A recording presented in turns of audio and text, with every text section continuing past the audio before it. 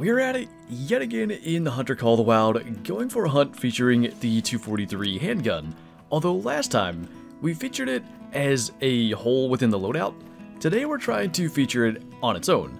We were able to, in the early access portion of the handgun DLC, take a Diamond Whitetail with the Glock, and then on Monday's live stream, we managed to take a Diamond Axis Deer with the 45, so that leaves us with only the 243 pistol in the game as a weapon we haven't taken a diamond with, and that is the hope today out here on Cuatro Colinas to accomplish that goal.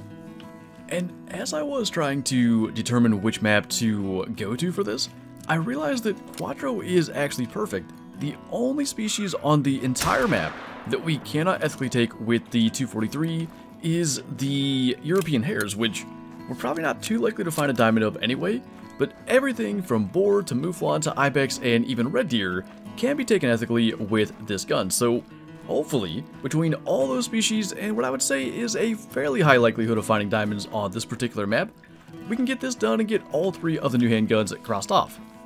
And in the meantime, we'll probably pretty much be exclusively using this gun today for the entire hunt. There have no doubt been new weapons that we've tried to get a diamond of, but gone for a hunt mostly using other things because it's maybe not the best gun for certain species, but in this case, it can do everything we need it to do.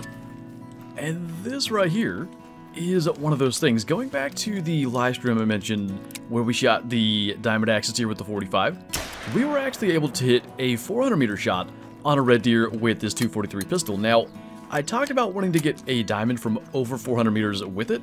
I don't think that's going to be what we do today. It depends what happens. If we would find a level 9 red deer, the size of the lungs with them, I think that we could probably do, but if it is one of these smaller species, most likely we'll try to go for more of a sure shot just to make sure we get a diamond with this gun too. And really, I do consider like even 250 meters a pretty sure shot. You can see, didn't aim high, kind of top of the lungs and into the stomach there, 50 meter beyond the zero range, and we've talked about that plenty with this gun. Where was that hiding? Let's maybe look at the potential for its accuracy. Can we make a back of the neck shot on a piebald roe doe? We most certainly can. It's not a diamond, so we're not going to, you know, change plans here, but there's our first cool kill, well, I guess kind of our second cool kill with this gun. We also had the egg white wolf over on Yukon Valley, but that's pretty neat. I really, I mean, these are its tracks. It must have been in the field when we shot the buck. I never saw it. Maybe it was on screen there. But I think 187 meters, something like that. No hesitation, no problem. We actually brain shot it, 174 meters. But there's really no risk in doing that when it comes to a doe. You'd have the non-metal no matter what. So we can technically mess it up. And, oh, technically, it's not technically messed up. I guess there are no trophy organs, so it makes sense. I didn't know they did that, though. I thought does would still have the trophy organ check even though they had no antlers or horns. That's actually pretty neat. I don't know if that's always been a thing, but cool little bonus kill as we go along. Good start out here on Cuatro. You know, I'm kind of just thinking back to our red deer grind and how often we would come to this particular lake. And I feel like it was still one of the main places we went, but even after the reset and redistribution, I don't remember there being this many stags. I don't know, maybe there was another one after that, but I don't recall that happening. So I do kind of find it interesting there are so many, but 330-ish meters, probably right about at the spine should be good. The level of drop on this handgun is not much. Now, when you do use something like a 243 on a red deer, a class 6 animal that is probably a bit big for the caliber, you can't really know if you made a good shot and need a follow-up or not because they're going to run so far before you get to see what the impact was. It's probably going to be too far away to actually get a follow-up. This one at about 260 though, we can pretty well aim dead on and that should be a long hit as well. Maybe that wasn't actually 330, I thought it was. According to the hunting pressure, one down already, so I think we got them both. Now, it definitely does require a good bit more tracking, and even in this case he was starting to come back, but Still enough to bring him down right long at 318. And it's, I mean, it's still high in the lung. There's plenty of room for drop there. At 400, the one that we shot on stream, that was I think at 401, I believe we aimed right up in here and it was still center-ish of the lungs for that. It really is impressive what that handgun can do. And then, actually, this is the other side. When you get a single lung shot with a kind of lower caliber weapon, sometimes they kind of make it most of the way back to where you shot them. By the time you get over there at 250 meters, we hit darn near exactly where we aimed, another gold at 191. But I believe that marker is just about where he was, only 50 meters away. Now he ran much farther, all the way out and then started to walk back. And it can work that way, it can actually save you tracking at times, but probably overall, I would still say you want to use a caliber with more power when you're trying to grind or do anything like that. A casual hunt like this though, a little bit of extra tracking, I don't mind it especially when we get to use such a cool weapon. Maybe getting a little closer though to finding a diamond to take with the 243, definitely our best animal thus far. Still a level 7 red deer, but the bigger rack for them. And that's a tough-ish angle. I want to see how the 243 can do. Going to attempt to kind of line that up at the heart. I think we were too high anyway. But I just want to see that kind of quartering angle how it does into the lungs, because I think it'll get there. But I'm just curious to look at the bullet path. I would say the first thing is he went down faster than, well I guess it was way closer than the we shot at 300, but definitely brought him down more quickly. According to this though, I mean, it's well into the lung. It would have started to hit the lung maybe back into here somewhere. And went pretty far through, so I don't think it's a matter of needing to ever make sure that you're at an ideal angle. The 243 is plenty for a red deer. 210 score though. And I think it is probably getting through red deer drink time pretty well. It's 8.30 now. I'm thinking we may rest forward to Ibex time soon. And as we move into Ibex drink time, we may, at the very least, have a Hall of Shame candidate here, a 44 to 55 score level 1 Ibex. However, it is just on a mission to walk away, so first, we need to alert it, and then hopefully with a relatively quick shot, perhaps after reloading, since we shot the red deer, we can get him down before he turns, so shouldn't need to aim all that high.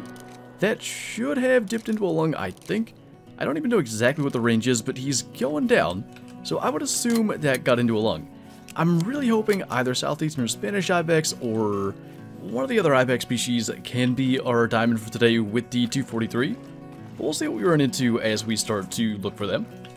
And it almost has to be a lung shot, medium bleed rate, so not a bad deal. Right lung and shoulders are kind of high in there, but 290 meters away. 49 score, man, it is 0.02 from being a bronze. Is that minimum weight, though? It may be. I think we'll tax him anyway. I really wish it would have been a bronze. That's normally, like, the deciding factor for what we put in the Hall of Shame. Now, that one gives us a chance anyway. That is kind of the thing about the Southeastern Spanish Ibex. You can get diamond level 4s even below the max weight estimate. 74 to 87 kg is their maximum estimate. This guy at 61 to 74 has a pretty favorable score estimate. Diamond I think is 89 and change. 84 to 95 is solid. And really it comes down to the tip to tip spread and when he's facing away from us, doesn't look that bad. So we'll go from here about 300 meters away. Probably gonna go ahead and at least try to get a steady rest. And I'm thinking as long as he'll stop, probably like top of the shoulder-ish should be about where we want to aim just need him to relax and slow down. Now, I have found that you don't have to get a big lead. With this pistol, I don't feel like it's any slower firing than the rifle, but at that range, I'd prefer to only have to worry about one variable. And right in there apparently is going to be the spot, so try to put that kind of like right at the back of the shoulder, and hopefully he'll start to go down relatively quickly, and it looks like he is, so maybe a shot anyway, at our first diamond with the 243. Again, it's a level 4 Southeastern Spanish Ibex. Not the most impressive thing, but it is what was out here. Now, the bleed rate this time is low, but I imagine that's mostly just due to the distance. And like I said, a decent-ish tip-to-tip spread. We'll see he could cross that 89 marker. 87.55, so close. 89.68 is the diamond requirement, and quite frankly, of all the things that I would kind of hope doesn't make diamond, probably a below max weight estimate level 4 Southeastern Spanish Ibex is pretty high on that list, so no complaints there, at least a decent one, and we'll continue hopping around to some of the other spots. it has been pretty cool as well to see some of the new spots that Ibex drink. This was a lake that we did a lot of red deer grinding, always has been good for gray wolves, but seeing Beceite's Ibex drink up here is definitely a little bit new. Now none are very big, a couple of solid fours, but nowhere near level 5, and I think just for the heck of it, was the one up to 177 the best one? I guess it must have been. At 275 meters, we'll go ahead and try to take him, and unfortunately, it looks like we will be waiting another day to try to get a diamond with the 243, which, as much praise as this gun has gotten, and as much as we've used it, it is interesting it ended up being the one that we have yet to take a diamond with. On the bright side, though, we did have a piebald roe and we also did have a Hall of Shame ibex, so we can head back and take a look at those. We'll probably actually put them in the same lodge for now. And I do have to say, on a plaque of that size, that Ibex is a little less than impressive. I wish it would have been a bronze. It's amazing how close we got, but didn't quite get below the silver marker, and we've been putting rare female animals in the Hall of Shame Lodge for forever, just because it's kind of the only place to put them outside of multi-mounts, and I figured this little full-body platform for the piebald roe deer would be nice. I don't know if we have a female piebald anywhere in the lodges. I'm sure we've shot them, I just maybe either never placed them or didn't tax them. But that's a nice little thing to take with the 243 as we wait for that opportunity to get a diamond with it. But it's good to kind of spread out on other maps. We've been obviously on Silver Ridge Peaks and Revontuli Coast a lot. And even though we didn't get a diamond, a nice little rare is always a cool bonus as we go along on these other maps. But anyway, that is going to do it for this video. So as always, thank you guys for watching, and I'll see you next time.